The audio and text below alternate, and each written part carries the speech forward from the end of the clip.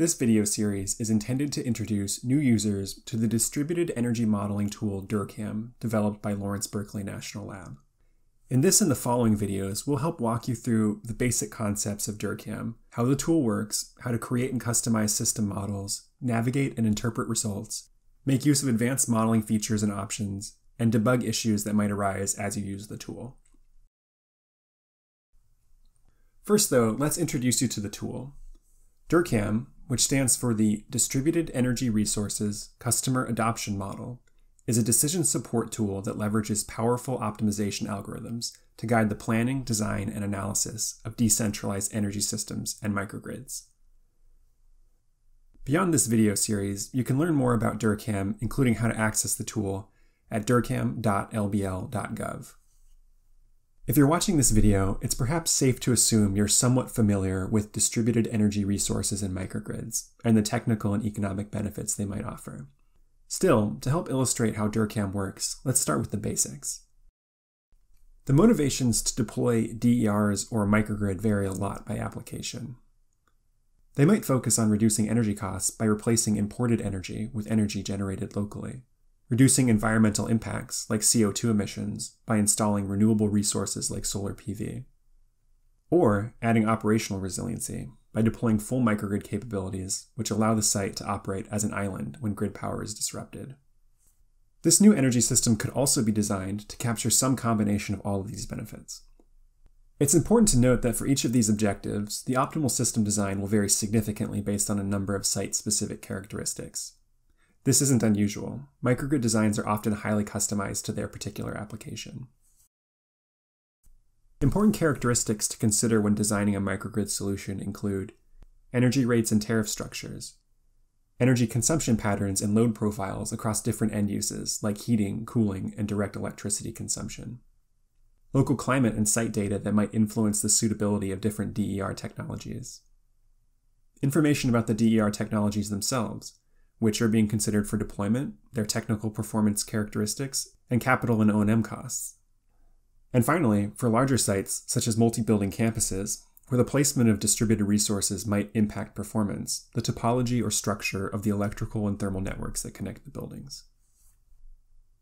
Deploying distributed energy systems and microgrids is often a long and complex process, but the first step is to develop a feasible, actionable design, Specific information to assess the feasibility of a given design include basic cost and performance metrics like total capital costs, net changes to annual operation costs, and the payback period for new investments, the portfolio of which new technologies that should be installed, and the capacities of each, information on how those technologies are dispatched under typical conditions, and for larger sites, where within their internal networks each DER will be placed. Given all of these factors, it's clear that the process of designing a microgrid system is by no means simple. Fortunately, this is precisely the problem DER-CAM has been developed to address. DER-CAM is powered by state-of-the-art optimization algorithms developed at Berkeley Lab to find the optimal DER design solution by simultaneously considering a range of value streams for each DER asset, including reducing energy imports, load shifting and demand charge management, revenue from electricity sales, as well as providing demand response and ancillary services back to the grid. DER-CAM solves this problem holistically, assessing the potential of each technology to compete with or complement one another across each value stream, and selects a design that maximizes total system value based on the user's defined objectives and constraints. One key thing to note there are, of course, other software tools that assist with microgrid design, Several of these tools use a simulation approach to find a solution, rather than the optimization approach used by DER-CAM. I want to take a moment to highlight key differences between these approaches. Simulation can be very useful, as it often allows for a more detailed examination of operation conditions, for instance by modeling all 8,760 hours in a year. For dispatch of DER technologies, however, simulation typically relies on rules-based strategies. When certain conditions are met, different DERs might be dispatched to respond in a scripted manner. Rules based control strategies can vary in complexity, but in practice, they are often influenced by the past experience or preconceptions of the modeler. As a result, the simulation approach does not guarantee an optimal solution. Optimization, on the other hand, as used by DER-CAM, does not rely on user defined rules for dispatching. Rather, the DER-CAM model defines constraints for how technologies can and cannot operate, and then lets the optimization determine how they are dispatched at each point in time by adhering to these operational constraints. This means the optimization approach is able to search across a wider solution space to find an optimal design. However, to keep the optimization problem size manageable, DER-CAM must incorporate some simplifications that can reduce the level of detail compared to simulations. There are two major simplifications in DER-CAM that should be highlighted here. The first being design days. Rather than modeling each day of the year, DER-CAM uses a smaller set of design days to capture seasonal and operational variation. By default, DER-CAM uses 36 design days, one for each month across three day types typical weekday, typical weekend day, and peak day. This peak day type is intended to represent the three days each month where loads are highest. It's typically these days that will set electricity demand charges, which can comprise a significant fraction of monthly electricity costs and can thus have a lot of influence over optimal system design.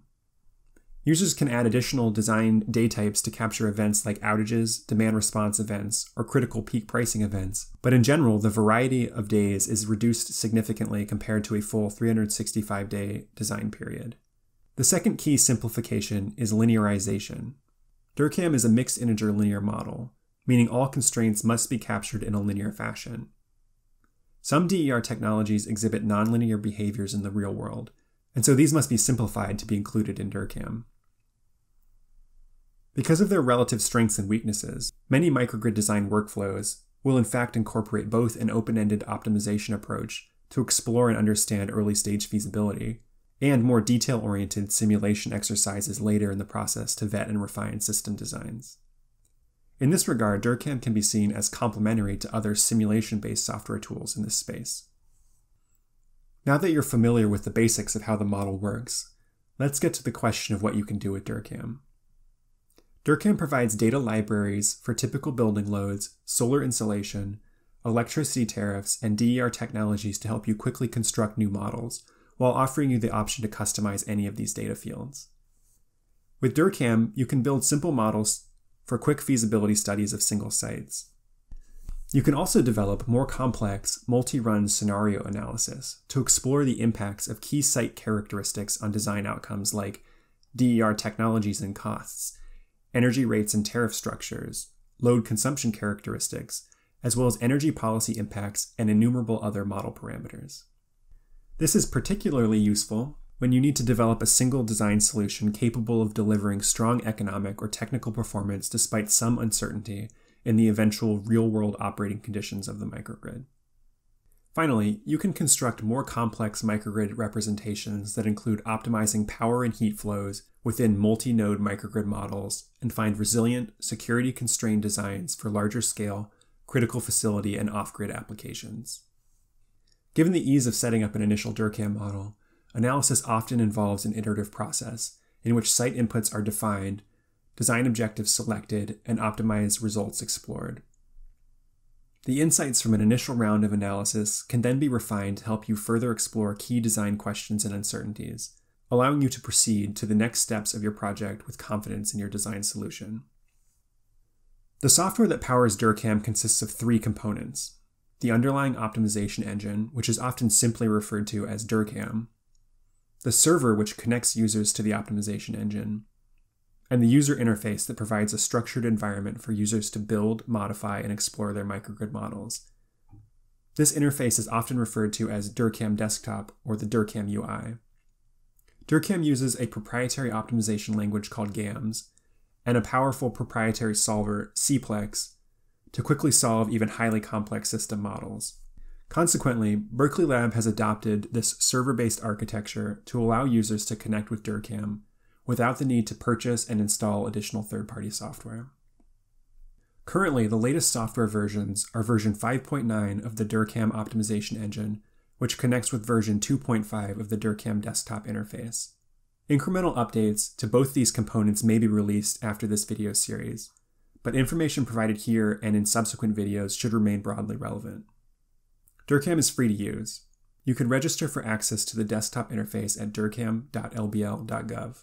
Berkeley Lab also offers an alternative browser based interface. For free access to this version, please contact us at dercam at lbl.gov. In the next video in this series, we'll discuss the general workflow for creating a model in DER-CAM.